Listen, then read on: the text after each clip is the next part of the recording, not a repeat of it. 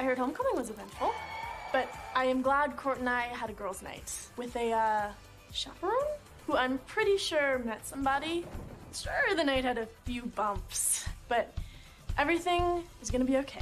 Miss Jenn, please come to my office before the opening bell, first thing Monday morning.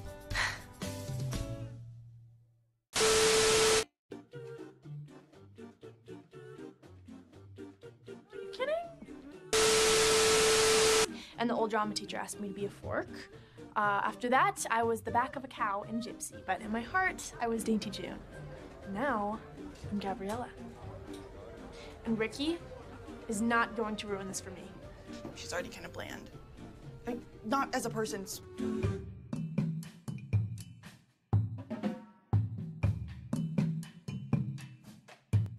What else is she doing this? Uh! Yeah, excuse me. Over here? Yeah, I know you don't know me very well, but guess what? You probably know him even less. Have you eaten today? Oh. Is that him? Is that EJ? Did he text you? Because I'm not answering. This fool is working my last nerve. Um, just tell him I went out shopping for a lie detector. It's not EJ. It's Tanya Freeman, Who's that? the senior on costume crew. She I can't look at Ricky. Is that a problem?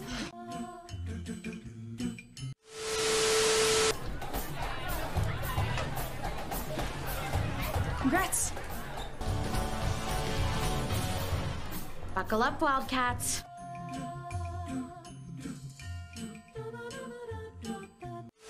Soy cheese. Yeah. Oh yeah. Uh, yeah, it sounds good to me. Is it good for you? Mm-hmm.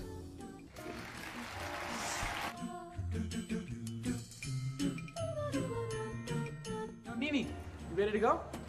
Come on, everyone's waiting. Buckle up, Wildcats.